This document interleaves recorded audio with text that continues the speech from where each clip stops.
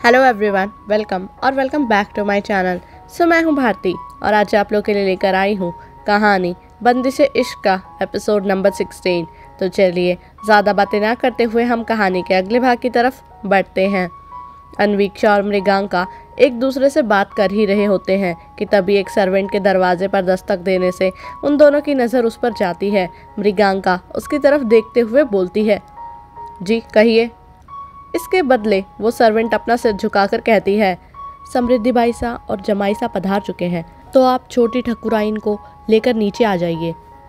और इतना कहकर वो नीचे की ओर चली जाती है। वहीं उसकी ये बात सुनकर वे दोनों ही परेशान होकर एक दूसरे की तरफ़ देखने लगते हैं। अनवीक्षा की साँसें चढ़ने लगती हैं और एकदम से उसने मृगांका के हाथ पर अपनी पकड़ कस दी। उसके ऐसा करने पर मृगांका ने ज़ोर से उसे गले लगाया और कहा चिंता मत कर अनु, इस बार कुछ नहीं होगा, हम इस बार अकेले नहीं हैं। ये सुन, अनवीक्षा धीमी आवाज़ में हाँ कहती है और धीरे से उससे अलग हो जाती है। वहीं मृगांका, उसकी आँखों की नमी को साफ़ साफ़ देख पा रही थी। उन दोनों ने ही एक दूसरे को आश्वासन की नज़रों से देखा और फिर नीचे की ओर चले गए। वहीं उसी वक्त, ठाकुर भवन के बाहर, एक के बाद एक तेज रफ्तार में उड़ती धूल गाड़ियों के साथ रुकती है। वो काफिला देखकर ही पता लगाया जा सकता था कि अंदर बैठे लोग कितने रईस हैं। सबसे पहले आगे और पीछे की दो गाड़ियों में से बहुत से गार्ड्स निकले, जिनमें से एक ने आकर बीच में खड़ी काली स्कॉर्पियो का दरवाज़ा खोला। तो उसमें से एक अधेड़ उम्र का व्यक्ति अजीब सी मुस्कान देते हुए बाहर निकला और अपने अधगंजे सिर पर बचे गिने चुने बालों को हाथ से सेट करने लगा। उसकी हल्की सी तोन निकली हुई थी और दिखने में भी वो कुछ खास नहीं था।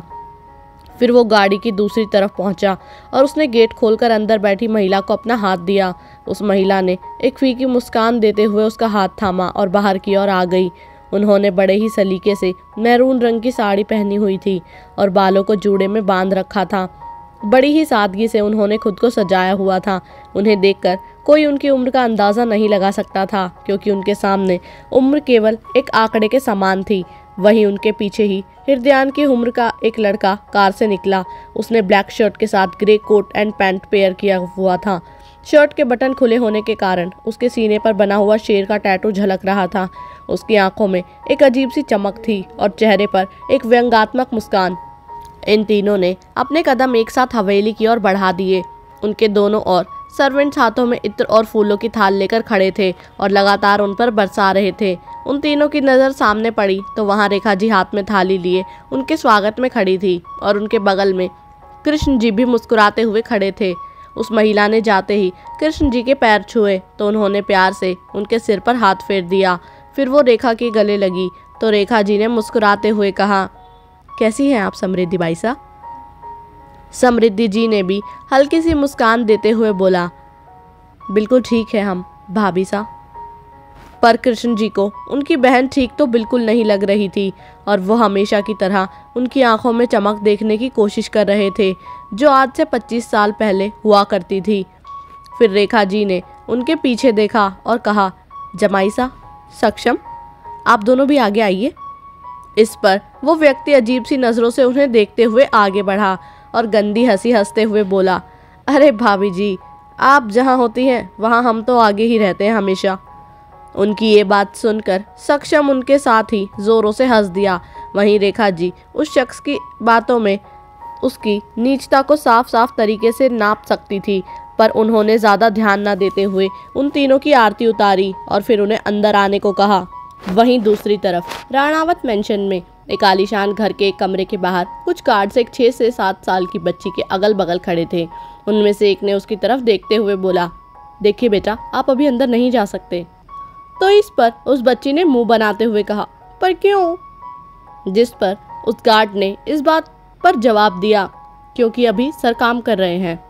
इस पर उस बच्ची ने कहा, आप लोग हमें जाने दीजिए। हमें बाबा के साथ खेलना है। और इतना कहते हुए वो ज़बरदस्ती कमरे की तरफ़ चली गई।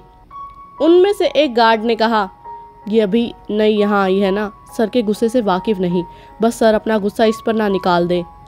और इतना कहकर वो सभी उसके पीछे चले गए। उस बच्ची ने जैसे ही दरवाज़ा खोला, सामने बैठे व्यक्ति ने उसकी तरफ़ गंभीर नज़रों से देखा। उस व्यक्ति ने सफ़ेद रंग का कुर्ता पजामा पहना हुआ था और उसके चेहरे पर एक गंभीर पर शांत भाव था। उम्र का तकाजा उन तक पहुँच नहीं पाया था शायद। हल्के सफ़ेद बालों के साथ भी वो नौजवान ही लग रहे थे। उस बच्ची के पीछे आए हुए गार्ड्स ने उस शख्स की तरफ़ देखते हुए कहा सॉरी सर हम अभी इन्हें लेकर जाते हैं। और इतना कहकर वो जैसे ही उस बच्ची को पकड़ने को हुआ, वो भागकर उस शख्स के पास जाते हुए बोली, नहीं, हमें बाबा के साथ खेलना है। लेकिन तभी एक लड़का अंदर आया, जिसकी उम्र लगभग दस ग्यारह साल की होगी, और उसने उस लड़की की तरफ़ देखते हुए बोला, आप बाबा को परेशान क्यों कर रही हैं? चलिए आप। ये सुनकर वो बच्ची परेशान होते हुए शख्स की ओर देखते हुए बोली, बाबा, आप नहीं खेलेंगे हमारे साथ? इस पर उस शख्स ने मुस्कुराते हुए अपना चश्मा उतारा और उस लड़की को अपनी गोद में उठाते हुए बोला, क्यों नहीं खेलेंगे हमारी बच्ची से? ज़रूरी काम थोड़ी है हमारे लिए। ये सुन जहाँ वो बच्ची खिलखिला उठी, वहीं दूसरी तरफ़ वहाँ खड़े हर गार्ड के चेहरे पर हैरानी उभर आई। आगे क्या होगा? जानने के लिए सुनते रहिए कहानी, बंदिश इश्क मेरे यानी भारती के साथ। उम्मीद करती हूँ कि आप लोग को ये एपिसोड जो है, वो पसंद आया होगा। अगर आप लोग को ये एपिसोड पसंद आया तो वीडियो को लाइक करना चैनल को सब्सक्राइब करना, बिल्कुल भी ना भूलिएगा। बाकी जब तक नेक्स्ट एपिसोड आता है, तब तक के लिए बाय एंड टेक केयर